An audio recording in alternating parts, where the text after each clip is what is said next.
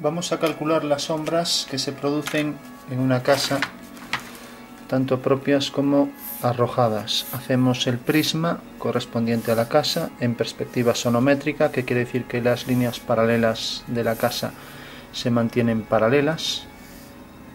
Tenemos lo que va a ser un tejado. Y si por ejemplo el alero lo continuamos por aquí abajo, hasta este punto bajamos su proyección entonces la proyección del alero hasta ahí será esta. Mientras que si lo continuamos por aquí por ejemplo hasta aquí pues lo continuamos también por aquí y tenemos que la proyección de este punto pues será este. Eso quiere decir que el tejado va a venir por esta línea el extremo del tejado y va a venir paralelo a esta por este punto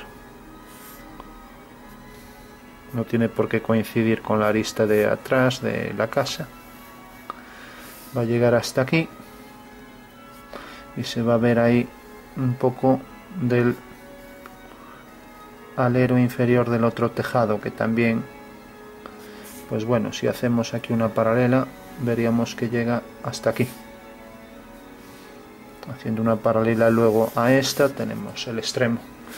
Bueno tenemos ya la estructura general y ahora vamos a darle cierto grosor aunque eso no va a influir en las sombras. O sea simplemente le damos un grosor al tejado para que haga un poco más real el dibujo. Entonces un grosor homogéneo. Esta línea seria de construcción en realidad no existe porque es el mismo plano. Y aquí la línea del borde del tejado.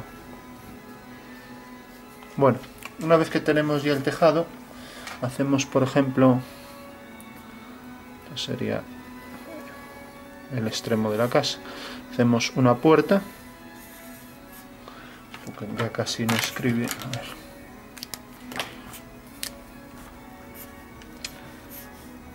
seguimos las paralelas de la casa, hacemos la puerta. Y hacemos por ejemplo una ventana a la misma altura. Vamos a darle al prisma cierto grosor. Siempre para las sombras conviene hacer el interior de los prismas. Igual aquí, el mismo grosor más o menos.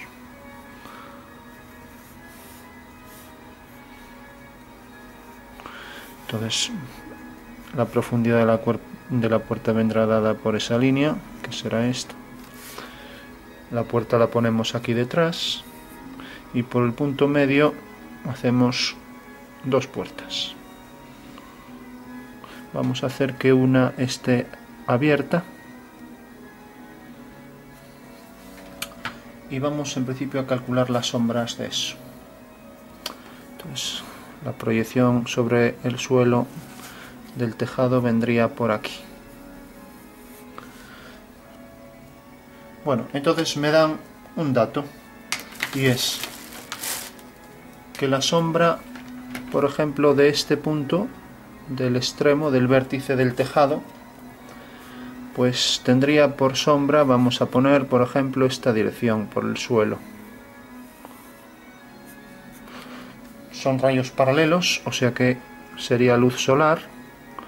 Damos esta dirección, entonces levantamos una vertical por aquí, ya que el plano vertical que contiene ambos rayos pues determina en la intersección con el plano vertical de la casa esta recta y corta el rayo en este punto. Eso quiere decir que la sombra del tejado pues será una línea paralela por ese punto. Vemos que entra ahí y luego vemos cómo proyecta la sombra ahí abajo, una paralela en principio marcamos así luego vemos eso también. Bueno tenemos ahora la sombra de esto sobre este plano inclinado. Entonces bastaría con hacer otro punto. Por ejemplo si calculo este de aquí este tiene su proyección veo que ya está por aquí. Hago la línea paralela a esta y levanto una vertical hasta que corte a esa dirección aquí eso quiere decir que la sombra de la casa del tejado es esta. Ahora de repente sé que la sombra de una línea horizontal y sobre este plano vertical va a ser una línea paralela a ella. Podría simplemente hacer una paralela por este punto, ya que es la misma línea que proyecta sombra aquí y aquí. Pero bueno, si quiero hacerlo calculándolo, pues cojo un punto cualquiera, cojo su punto proyectado sobre el suelo, proyecto la dirección del rayo por el suelo, proyecto la dirección por el espacio, siguiendo la dirección espacial, y ahora levanto una vertical de manera que me corta aquí. Bueno, como decíamos, pasa por ese punto y por este y es una línea paralela a esta. Esta línea, lógicamente, si la veo desde arriba, pues se abre hacia aquí. Si la veo desde abajo, hacia aquí.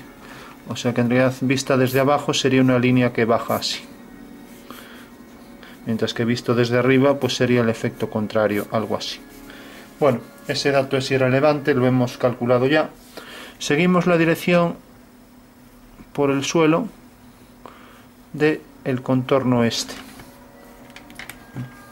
Debemos incidir un poco en las líneas del dibujo porque a veces no se nota muy bien lo que estamos haciendo por culpa de que el dibujo no está muy bien definido. Bueno, por el suelo decíamos que este punto sigue esta dirección y es la proyección de este punto sobre el suelo. Siempre el procedimiento es un punto P tiene su proyección sobre el suelo, P'. Seguimos por el suelo la dirección y seguimos por el espacio la dirección. La sombra de ese punto es esto. Si de repente aquí hay un plano vertical, pues levantamos por el punto de corte una vertical de manera que la sombra del punto en vez de ser esta es esta. Ese es el procedimiento.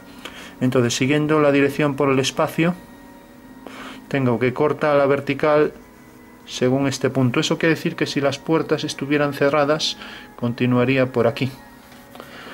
Y lógicamente como corta aquí a la pared y este punto y este pertenecen al mismo plano, pues esta sería la línea de sombra. No obstante esta puerta se ha abierto, entonces esta línea ya no me vale para ahí.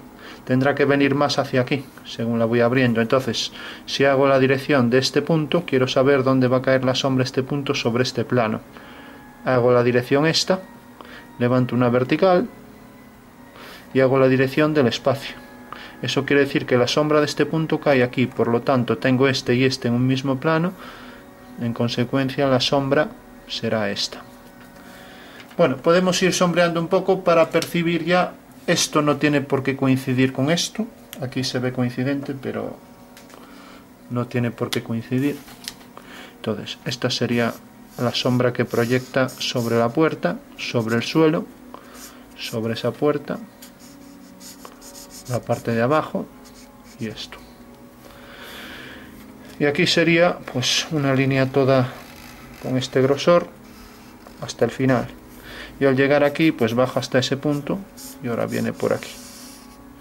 Ahora veremos si realmente aquí, como esto traspasa el hueco, si va a caer ahí dentro. Bueno, en principio tenemos eso. Tenemos también esto, porque está proyectando la sombra ahí adentro.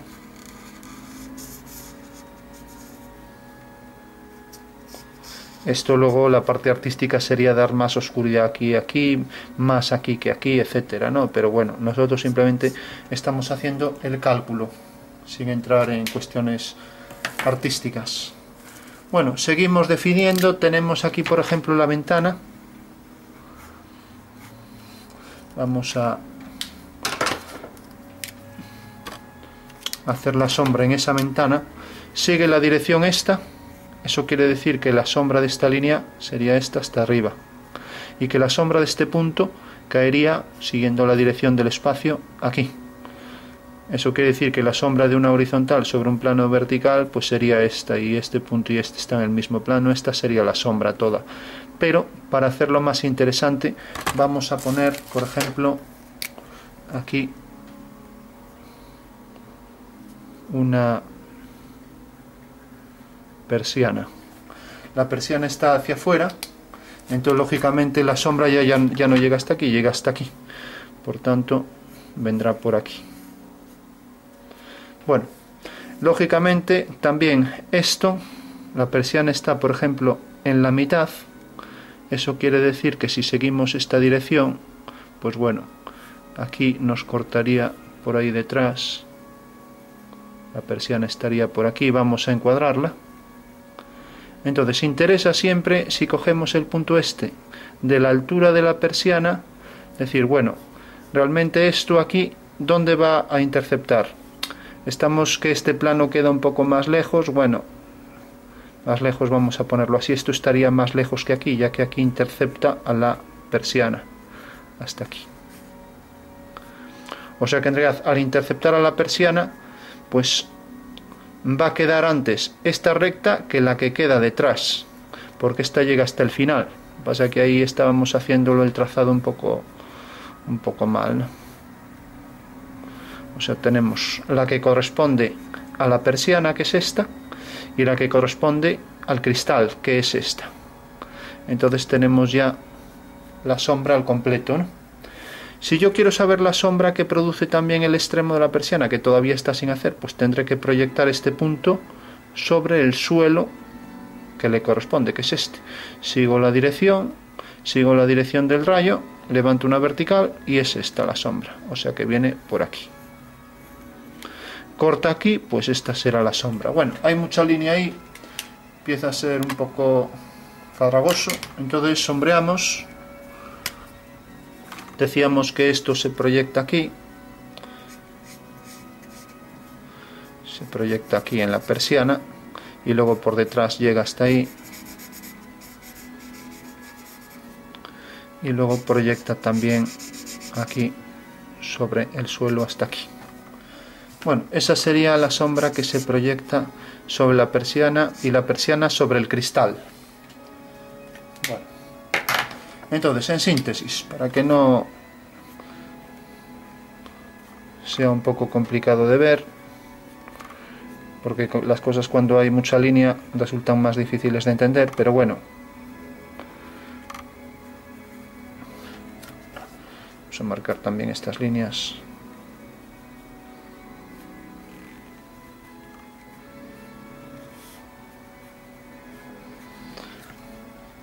Bueno, la sombra, entonces decíamos, tenemos la referencia de la persiana, que es esta.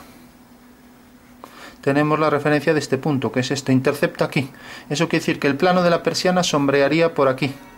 Pero bueno, como sigue que aquí no hay persiana, llega hasta aquí. Entonces la sombra de todo, hasta el cristal, es esto. Y para un punto cualquiera, su proyección sobre la persiana, ya que pertenece a la persiana, dirección por el suelo, dirección por el espacio y en este punto vertical tengo entonces que proyecta esta línea bueno tengo ya la sombra al completo y aquí arriba pues simplemente tengo este punto, la referencia de la persiana, sigue por el suelo esta dirección, sigue por el espacio esta, corta aquí, levanto vertical, tengo la vertical más la sombra de esta, una paralela a esa. Este punto con este, igual que este con este. Bueno, esa sería la sombra que se produce Bueno, vamos a sacar alguna cuestión más interesante. Por ejemplo, si el plano de la casa continuara por aquí, este punto se corresponde pues con este punto de abajo, ¿no? Bueno, ahí está muy lioso, pero bueno, vamos a hacerlo más fácil todavía. Aquí tenemos dos direcciones, la dirección del espacio y la dirección de este punto que transforma, que, que construye este triángulo. Entonces aquí tenemos el triángulo de abajo, que es la proyección de ese triángulo. Bueno, quiere decir que todos los puntos sobre el plano horizontal van a seguir esta orientación. ¿Qué quiere decir eso? Pues quiere decir que el alero, si viene por aquí, el interior, o sea, nace de aquí, como decíamos, ¿no? Bueno, habíamos hecho esta línea. Bueno, pues quiere decir que la línea esta es la línea del plano horizontal, si cojo este punto vamos a llamarla h, h', y luego tenemos la dirección, la dirección del punto, que aquí podría hacer el del alero también, el del alero por aquí, y ver que coincide ahí, ¿no? Bueno, entonces tenemos la dirección de ese punto, vamos a marcar la paralela a esa, y luego tenemos la dirección del rayo. O sea que en realidad en el tejado siempre puedo hacer estos triángulos, por ejemplo, para calcular esto, este mismo, la sombra de este alero, también me vale eso. Entonces tengo esta dirección, que es esta, h sub 2, tengo la dirección del espacio y tengo la dirección del plano vertical, que es esto. Eso quiere decir que la sombra de ese alero pues pasa por este punto.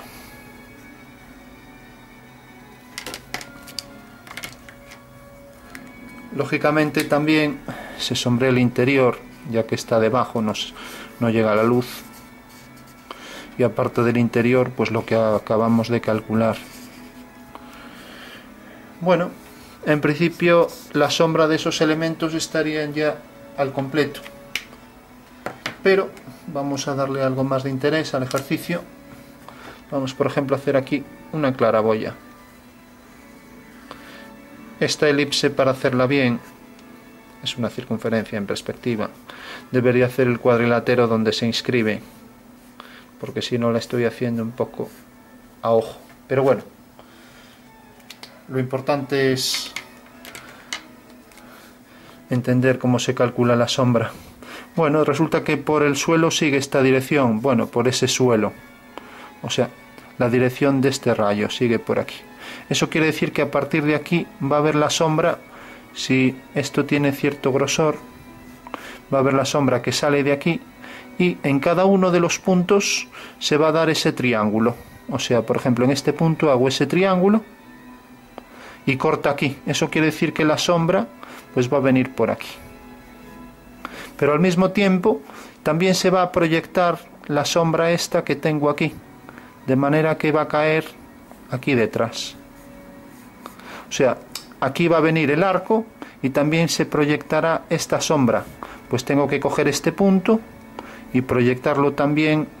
Bueno, aquí me coincide con la línea, pero bueno, en principio tendría el arco o bien podría darse el caso de que la línea esta viniera encima del arco. Aquí me coinciden las dos, pero bueno, para que se vea más claro que ahí está muy poco claro, tengo la elipse y tengo el arco. Tengo los dos arcos de la profundidad del cilindro, nada más que eso. Bueno, pues como decía, tengo la dirección horizontal H. Pues la dirección horizontal me define en realidad de dónde va a salir la sombra por aquí. Vamos a hacerlo algo más estrecho. Tengo luego este punto, si por ejemplo el cilindro viene por aquí, tengo este punto que sigue esta dirección, sigue la del espacio y sigue la H. Eso quiere decir que la, la curva esta se proyecta según otra curva aquí. Y entonces en los puntos de tangencia, aquí, es donde vamos a calcular también la curva que se produciría aquí, que en realidad es la proyección de esta curva sobre el cilindro. ¿Cómo la calculamos? En principio vamos a sombrear lo que, lo que se ve bien. Pues en realidad la curva esta se proyecta aquí abajo, cogemos el punto el punto que en realidad determina la dirección del rayo para saber qué corresponde a este punto, sería esta dirección, paralela a esta, y seguimos las tres direcciones de este, triángulo. La dirección del plano vertical, que es esta, la dirección del rayo de sol, que es esta, del plano vertical, y la dirección de las líneas del dibujo, que es esta. Ahí tenemos las tres direcciones. Entonces pasamos este arco exactamente igual, como si copiáramos esta elipse. Y ahora decíamos cuál es la solución para sombrear también la cara esta, ¿no? Bueno, pues esto, si lo vemos todavía más de cerca, tendríamos un cilindro, otro cilindro. Entonces, si yo cojo un punto cualquiera, vuelvo a hacer lo mismo. Tengo la dirección por el suelo, tengo la otra dirección y tengo que en realidad me está cortando aquí tengo la tangente, que es la dirección del suelo, y entonces va a venir por aquí y va a venir por aquí. O sea que esa sería la sombra que se produce en la cara interior del cilindro, que viene dada por, como decíamos antes, la sombra de la línea de la línea esta, o sea, del plano de la casa, que es esta. Del plano de la casa luego la sombra del rayo solar, que es este, y luego la dirección de estas líneas. Con lo cual tendría ya el arco este de sombra, que por supuesto coincide luego con este arco de aquí. Bueno, ese sería el procedimiento. A partir de aquí, lo que habría que hacer es intentar que eso fuera un poco más real, pues dándole sombras más oscuras, etcétera. Pero bueno, no tengo aquí ninguno así oscuro. Entonces, si yo, por ejemplo, cojo aquí esto, pues aquí le daría más oscuridad, aquí también, etcétera, ¿no? Por ejemplo, aquí mucha más oscuridad. Aquí igual. Aquí, pues como decíamos, se proyecta ahí, se proyecta aquí dentro también. El grosor, el grosor este, hasta donde llegue.